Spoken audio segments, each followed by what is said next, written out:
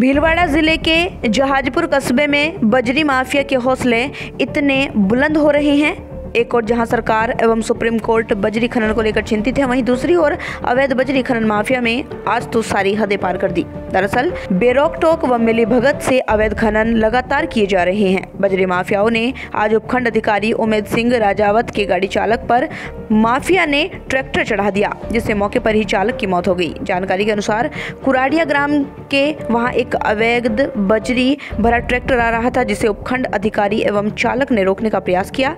Tractor tractor चालक ने अपना बजरी से भरा ट्रैक्टर भगाकर खेराड़िया माता जी मार्ग पर ले गया। उसी मार्ग पर एक बाड़े में ट्रैक्टर खड़ा करने लगा, जहाँ उपखंड अधिकारी के चालक कुलदीप शर्मा निवासी अलवर ने ट्रैक्टर चालक को बुलाने का प्रयास किया तो अवैध बजरी से भरे ट्रैक्टर चालक ने अपना ट्रैक्टर स्टार्ट कर चालक कुलदीप शर्मा पर चढ़ा दिया, जिससे उसकी मौके पर ही दर्दनाक तरीके से मौत हो गई। वहीं इस मामले की जानकारी होने पर डी देशराज गुर्जर, तहसीलदार मुकुंद सिंह शेखावत एवं थाना प्रभारी हरीश शुक्ला मौके पर पहुँचे और चालक के शव को कब्जे में लेकर चिकित्सालय में शव को पोस्टमार्टम के लिए रखवाया है। वहीं पुलिस ने ट्रैक्टर को जब्त कर अवैध कारोबार में शामिल लोगों की तलाश भी जारी कर दी। देर शाम जिला कलेक्टर राजेश भट्ट एवं पुलिस अधीक्षक हरेंद्र महावर जहाजपुर पहुँचे, जहाँ से घटना की जानकारी ली। इधर घटना के बाद ब्राह्मण समाज द्वारा जिलाधिकारी को ज्ञापन सौंप अवैध बजरी माफियाओं पर कार्रवाई एवं हत्यारों को गिरफ़्तार करने की मांग की गई है। जिला कलेक्टर राजेंद्र भट्ट ने बजरी माफियाओं पर शिकंजा कसने एवं उचित कार्रवाई करने का भी आश्वासन दिया। रोहित सोनी की रिपोर्ट। तरीके से किया जाएगा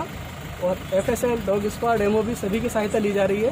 साथ ही कॉल डिटेल वगैरह भी निकाली जाएँगी और निष्पक्ष और स्वतंत्र अनुसंधान किया जाएगा और जो भी इस घटनाक्रम में शामिल है, उनके विरुद्ध कड़ी कार्यवाही की जाएगी।